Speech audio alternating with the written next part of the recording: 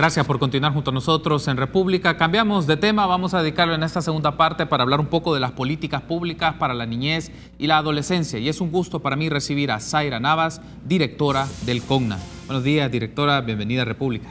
Buenos días, un placer y un saludo a toda la población. Gracias a usted por tomar la invitación y estar con nosotros eh, en esta parte de República. Hablemos un poco sobre las políticas públicas para la niñez y la adolescencia y si le parece, directora, hacer un balance. En el caso del CONNA, en el transcurso del 2018, ¿cuál es el balance que hace de todas las actividades realizadas por la institución, pero también el contraste con aquellas problemáticas que más marcaron la situación de la niñez y adolescencia? ¿Qué elementos marcan ese balance? Bueno, en primer lugar, recordarle a la población que el CONNA es una institución de políticas públicas, como usted muy bien lo ha dicho, que vigila y monitorea el cumplimiento de los derechos de la niñez y la adolescencia y también realiza la defensa de los derechos de ellos y ellas a través de las juntas de protección del sistema local de derechos, los comités locales de derechos y desde su propio mandato. Coordina a las instituciones eh, encargadas de la protección de la niñez y la adolescencia y a la red de atención compartida que son organizaciones de la sociedad civil y del Estado que trabajan en programas de niñez y adolescencia.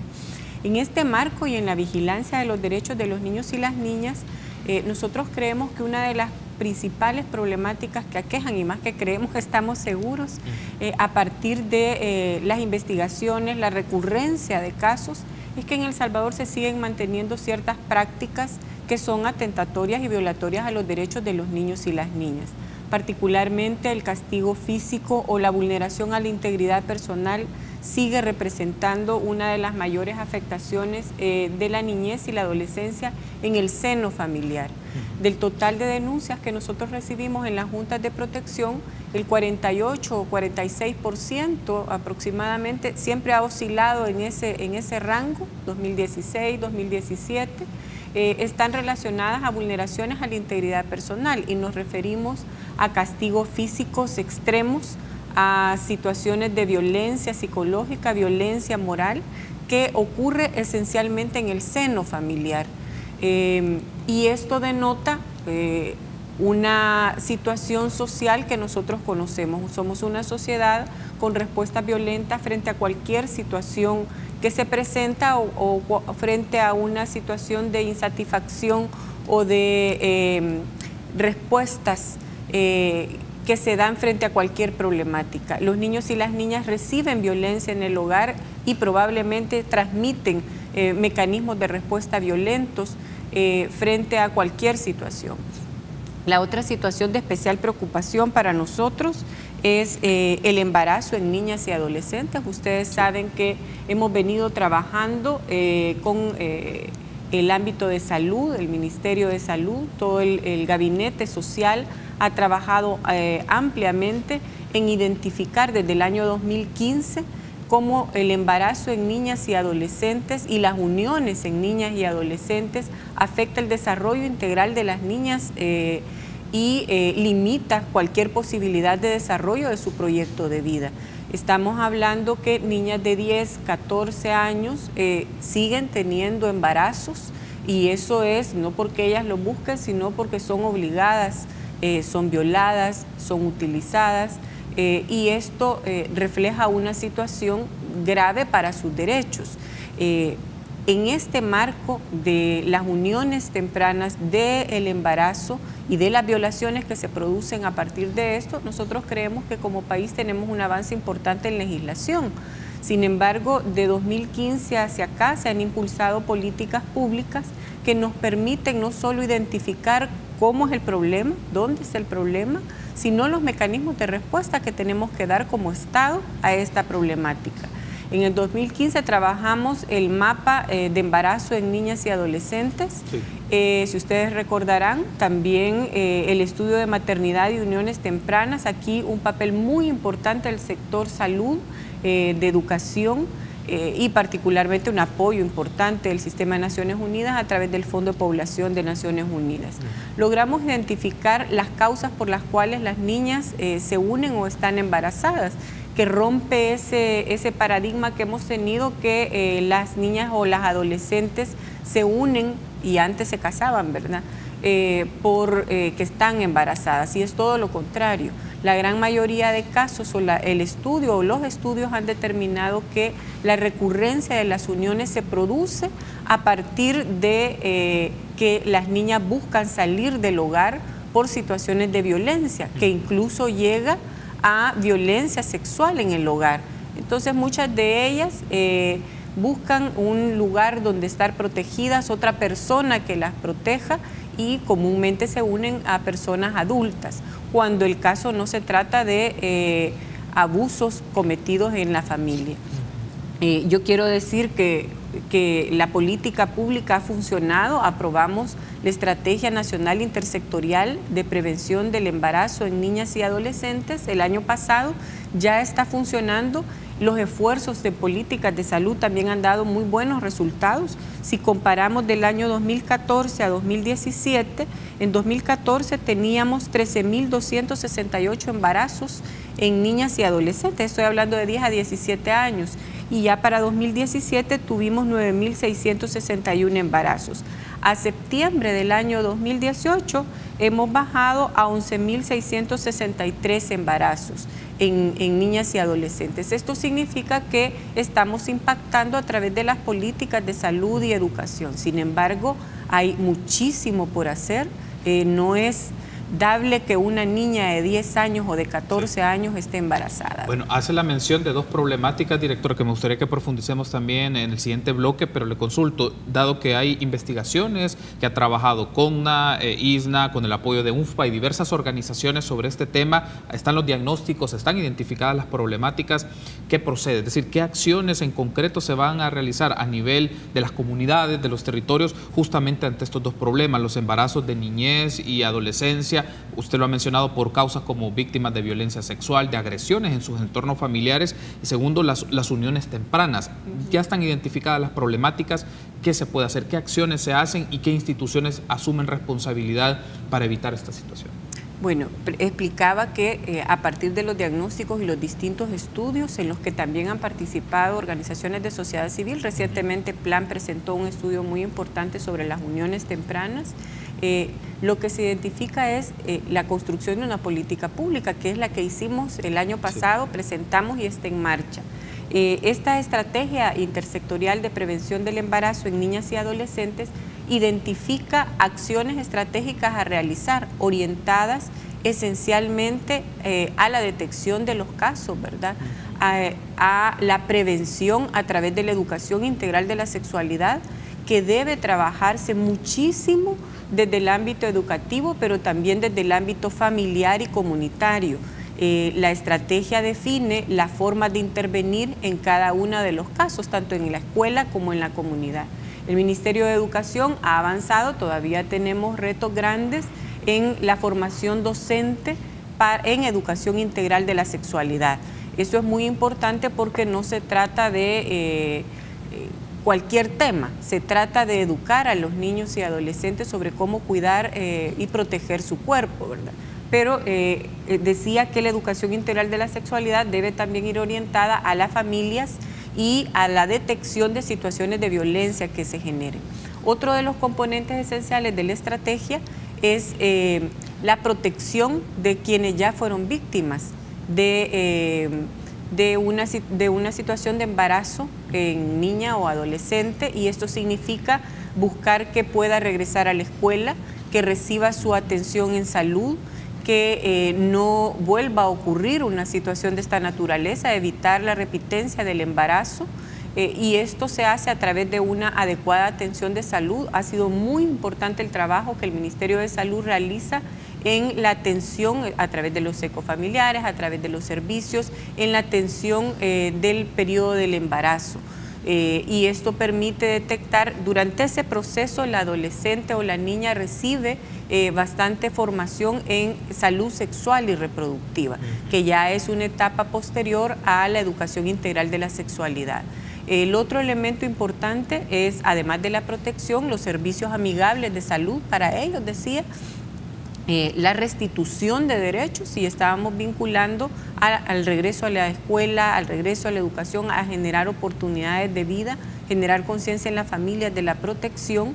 Eh, otro elemento importante es la elaboración de estudios e investigación, porque eh, hasta 2015 no teníamos investigaciones sobre el tema, sobre las consecuencias, sobre cómo repercute en el, en, el costo social de la población. Y aquí ha habido aportes importantes eh, que determinan cuánto un Estado gasta en una niña que es embarazada, que deja sus estudios y cuánto eh, cuánto afecta a su núcleo familiar la imposibilidad que tiene para desarrollarse.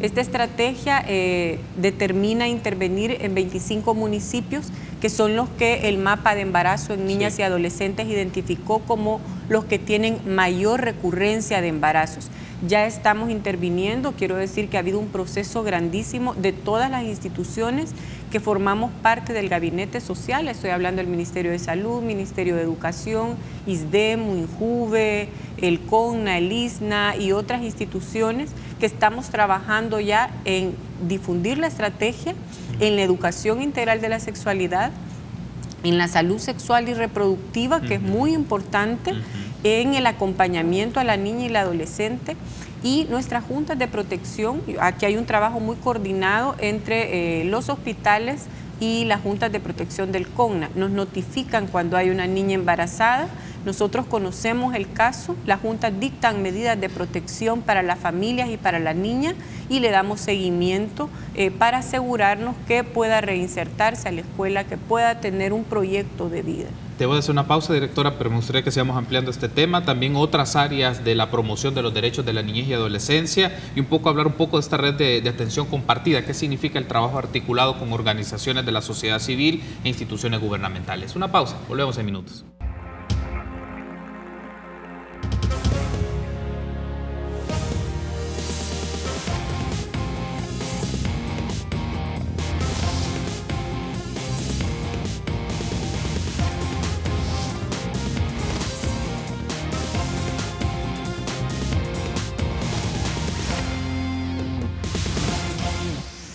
Gracias por seguir junto a nosotros. Continuamos platicando con Zaira Navas, directora del CONNA. Hablamos un poco de las políticas públicas para la niñez y la adolescencia. Nos hemos quedado hablando un poco sobre la situación de niños y niñas que son víctimas de agresión sexual, de violación sexual, en este caso de los embarazos de niñez y adolescencia o las uniones tempranas. Y hay un punto que creo que es uno de los elementos o las variables fundamentales en esto, usted lo mencionaba, es la formación en educación sexual y la salud sexual y reproductiva. Son aspectos fundamentales, pero eh, uno de los asuntos que esto afecta es las nociones de grupos y segmentos en la sociedad que están en contra de esto, sobre todo en los entornos educativos que no promueven o no quieren este tipo de formación. Y la pregunta aquí es, por qué es necesaria la formación en educación sexual y reproductiva, pero también el tema de la salud sexual en los entornos de los niños y adolescentes, porque ya tienen identificados ustedes las zonas y los grupos que son más vulnerados en estos aspectos. Entonces, ¿por qué es necesario fortalecer y desarrollar este tipo de educación? Bueno, es muy importante la educación integral de la sexualidad e ir quitando esos mitos que tenemos sobre lo que significa esta, este tipo de educación. Eh, la educación integral de la sexualidad es la educación sobre el conocimiento del cuerpo, del desarrollo del cuerpo, de las relaciones eh, sociales que los niños y las niñas tienen, de cómo cuidar su cuerpo, cómo cuidarse de otras personas y eh, enseña a, los momentos justos en que en el desarrollo de la vida de un niño o un adolescente ya podemos tener interrelaciones con otras personas. Eh, es todo lo contrario de lo que se maneja eh, en los idearios o en el mito de algunas personas respecto a que la educación integral de la sexualidad promueve las relaciones sexuales, es todo lo contrario. En la medida que un niño o una niña está informado de las consecuencias, de las enfermedades, de eh, los daños que puede ocasionar a su cuerpo y a su desarrollo integral, eh, una relación temprana, una eh, relación prematura sin los debidos cuidados eh, o no tiene conciencia de los efectos y los impactos que tiene, en esa medida no se le puede proteger. La educación integral de la sexualidad da herramientas a los niños y a las familias, porque eso es muy importante decirlo, debe ser un proceso integral entre niños, niñas, adolescentes y familias para aprender a cuidarse mutuamente. Hay mucho eh, mucha ideologización en este tema. Hay incluso quienes eh, confunden esto con lo que mal han llamado eh, ideología de género, que es una es, una confusión tremenda que lo que hace es negar la realidad que tenemos. Eh, lamentablemente debemos informarle a las familias los niños y niñas eh, no informados son víctimas de agresiones sexuales, son aquellos que callan cuando han sido abusados, son aquellos que tienen temor de hablar con sus familias, son aquellos a los que no se les ha generado la confianza, porque esto es un mito para, para hablarlo en la familia. En la mayoría de casos, quienes son víctimas de violencia sexual no denuncian, no informan a sus familias, precisamente porque no se ha generado esa comunicación y esa confianza. La educación integral de la sexualidad contribuye a que el niño y la niña conozca el desarrollo de su cuerpo, pero también aprenda cuáles son los límites eh, en, en, en su protección y cómo poner límites en esto. Y una familia que educa a sus hijos en este ámbito también está habilitada para protegerle de mejor manera. Entonces hay que ir rompiendo con esos mitos, hay que avanzar en la educación integral de la sexualidad, las familias deben involucrarse en este proceso educativo eh, y, eh, promover que en las escuelas haya eh, una educación integral de la sexualidad. El Ministerio de Educación ha avanzado bastante formando a docentes formadores pero todavía tenemos que hacer un proceso grande porque justo las resistencias a veces están en aquellos sectores que eh, tienen prejuicios a raíz de eh, sus opciones religiosas o a raíz de sus propias creencias. Antes de rechazar cualquier tipo de información o cualquier tipo de de enseñanza es importante conocerla. Yo llamo a las familias a conocer un poco más sobre la educación integral de la sexualidad y a participar sobre eso. Quiero aprovechar, directora, también para hacer la transición a otro de los temas que afectan a la niñez y a la adolescencia y lo hemos visto sobre todo en el último trimestre del año manifestado a través de las caravanas migrantes, es decir, la protección de la niñez y adolescencia migrante, no solamente por este flujo o este mecanismo de salida de un grupo significativo de salvadoreños y salvadoreñas que iban acompañados con niños y adolescentes, también de hondureños, hacia los Estados Unidos, transitando por México. Entonces, ¿cómo se garantizan los derechos de la niñez y adolescencia en estos escenarios? En algunos casos, básicamente se los llevan sus padres, los, ah, los dejan del entorno donde estaban o los alejan del entorno en el que se encuentran, los pueden exponer a ciertos eh, riesgos y problemas. Entonces, ¿qué hace el CON ante esta situación? Bueno, aquí es importante recordar que la migración es un fenómeno que tiene eh, muchísimos años de producirse en El Salvador. Es un país de migrantes eh, que, cuyas familias están eh, ya separadas, una gran parte de la población vive específicamente en Estados Unidos y esto llama a que muchas de las familias haya buscado por, por años migrar y hacerlo de manera irregular, es decir, sin la debida documentación. Por muchos años las familias han estado exponiendo a los niños y las niñas a este tipo de migración irregular. Este año hemos sufrido un fenómeno distinto que ha sido eh, común en América Latina, particularmente en Centroamérica Sur, en Honduras, y luego nosotros hemos tenido varias caravanas con diferentes características. En primer lugar, hay que decir que son las familias las primeras responsables del cuidado y protección de sus hijos e hijas. Las razones por las que las familias migran, de acuerdo a los estudios que se han estado realizando, eh, aquí hay que reconocer eh, el esfuerzo de OIM que ha hecho encuesta en el momento de, las caravanas, eh, nos llevan a determinar que las causas de la migración siguen siendo las mismas que se nos presentan históricamente. La primera vinculada a las mejores condiciones económicas de las familias. Las familias expresan que tienen pocas oportunidades en el país y que buscan una mejor condición de vida. El fenómeno de las caravanas generó que las familias creyeran que es posible tener una oportunidad rápida de llegar a Estados Unidos porque van en grupo. Eh, en el caso de las familias que van acompañadas de niños y niñas, por supuesto, como usted lo ha dicho, eh, se presenta una situación mucho más compleja, aunque son menos, hay que decirlo. Eh, ponen a los niños en una situación de grave riesgo. Nosotros hemos trabajado en campañas preventivas advirtiendo a las familias del riesgo que se corre. Eh, hemos estado presentes junto a las otras instituciones, con Migrantes ha jugado un rol muy importante en este tema, las instituciones del Sistema de Protección de Niñez, la Procuraduría General de la República, el ISNA, organizaciones de la sociedad civil, eh, organizaciones del Sistema de Naciones Unidas, en la fase preventiva.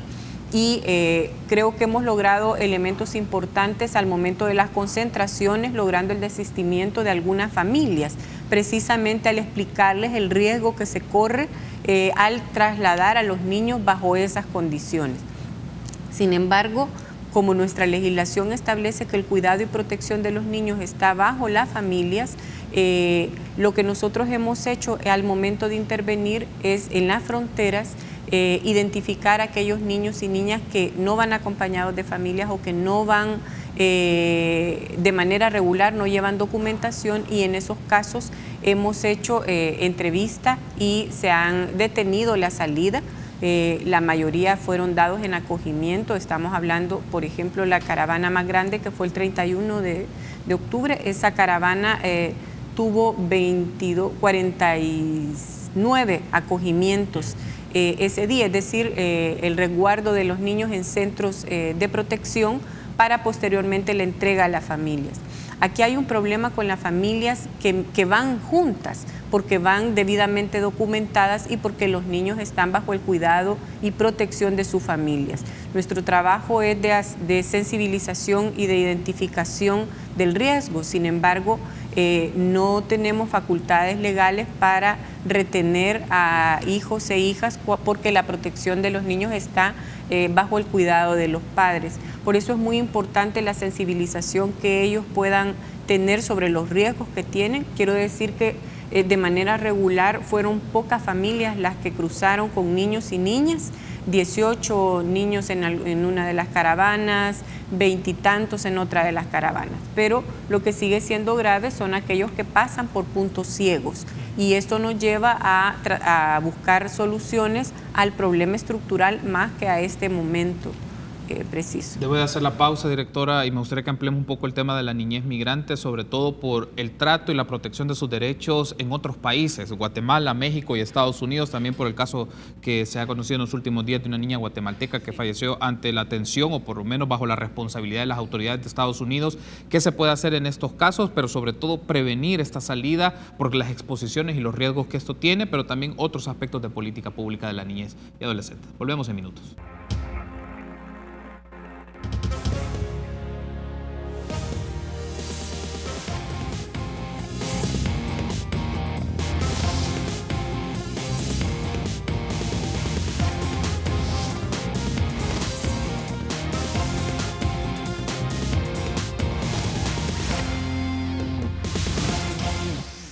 Último bloque de esta segunda parte, hemos estado platicando con la directora del CORNA, Zaira Navas. Hablamos un poco de las políticas públicas para la niñez y adolescencia y nos quedamos con el tema de la niñez migrante. Directora, un aspecto usted me mencionaba es las campañas que realizan toda la red que compone el sistema en favor de la niñez y adolescencia, el sistema de protección pero cómo trasladamos o materializamos de las campañas a acciones que no permitan este flujo migratorio irregular, es decir, por las condiciones en las que se encuentran y hay varias causales por las cuales las personas se mueven, asuntos de carácter económico, reunificación familiar, pero también las condiciones de violencia e inseguridad en los entornos en los que se encuentran estas personas. Entonces, ¿cómo se puede transitar en el sistema de protección de las campañas para tratar de evitar estas salidas a acciones para que la gente se asiente en sus lugares y pueda dedicar su plan y su proyecto de vida en buena condición en los entornos donde vive? Precisamente usted lo ha tocado muy bien, se trata de un fenómeno que no puede ser abordado a través de una sola estrategia o de una sola acción,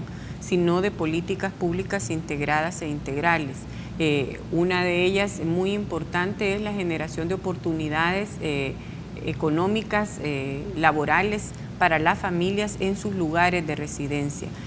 yo creo que ha jugado un papel importante porque este año hemos tenido menos retornos a a diferencia de las caravanas que habría que eh, estudiar un poco más cómo se produce este fenómeno y qué es lo que lleva a las personas a migrar de esta manera, ¿verdad? Eh, es una, situación muy particular eh, que no tenía antecedentes. Es importante la reducción de la pobreza. Eso ha permitido, en este año hemos tenido una reducción importante en el índice de Gini, en la reducción de la pobreza, la generación de empleos. Aquí eh, muy importante un asocio que está haciendo con AMIPE eh, en algunos lugares que tienen mayor incidencia de migración. Eh, otro elemento importante es generar oportunidades educativas. Eh, la educación flexible, por ejemplo, ha permitido que muchos de los adolescentes que nos expresan que la razón por la que emigraron era porque en su comunidad tenían que caminar que cuatro o cinco kilómetros para ir a su escuela. Eh, a través de la educación flexible es una oportunidad para que los adolescentes puedan continuar estudiando. Eh, hay mucho todavía que hacer para generar oportunidades y, empleos para las personas que eh, por razones económicas migran. En el caso de la seguridad es un tema mucho más complejo. Hemos conocido que las familias eh, salen de sus hogares precisamente porque están amenazados o uno de sus miembros está amenazado y busca eh, una mejor oportunidad de vida para protegerse. En este caso eh, ya están funcionando las oficinas de atención a víctimas, las OLAP del Ministerio de Justicia, que eh, identifican estos casos y están buscando alternativas. Este tipo de programas de protección son eh, bastante costosos y bastante complejos. Ya están, se está trabajando en la modelación de programas de protección de esta naturaleza. Creo que ahí es donde hemos tenido todavía retos y brechas eh, en las que avanzar en la protección de las personas que son víctimas de amenazas eh, y que deben eh, movilizarse o deben desplazarse internamente y que lo lleva también a la migración. En el caso de los niños y las niñas que retornan al país, hay todo un sistema de protección que permite identificar particularmente los no acompañados, ¿verdad? Que eh, hace el CONNA para identificar a su familia, aunque no sea su familia biológica, eh, su mamá, papá, eh, permite identificar a su familia extendida para que se haga cargo del cuidado personal. Hay un programa muy exitoso que desarrolla el ISNA, que son los CANAF, Centros de Atención Familiar, que permiten darle seguimiento al niño y a la niña. Hay una, un acompañamiento con canasta alimenticia, eh, que permite verificar que el niño se inserte a la escuela, que eh, entre a programas de atención psicosocial, etcétera.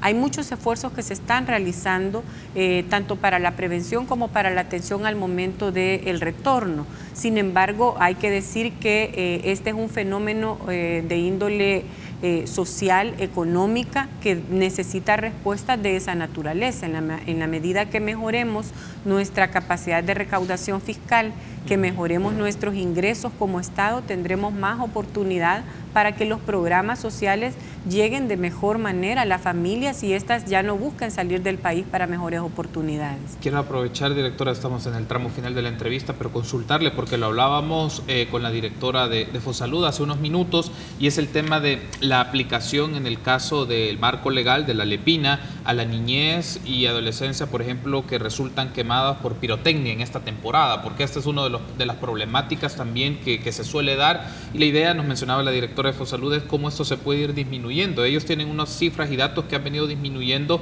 la cantidad de personas eh, quemadas o víctimas por el uso de la pirotecnia, pero sobre todo en niñez y adolescencia cuál es la atención del CONNA en esto, en el marco legal, pero sobre todo qué aplica para los padres de familia que no han estado al tanto ni, en ni supervisando a sus hijos en el uso de pólvora y terminan ellos quemados o en algunos casos quemaduras de, gravedad. Bueno, aquí hay dos leyes específicas que protegen a los niños de este tipo de, productos. La Lepina, por supuesto, que establece el deber general eh, de protección de los niños y establece la prohibición para que ellos sean expuestos a material explosivo o material de esta naturaleza.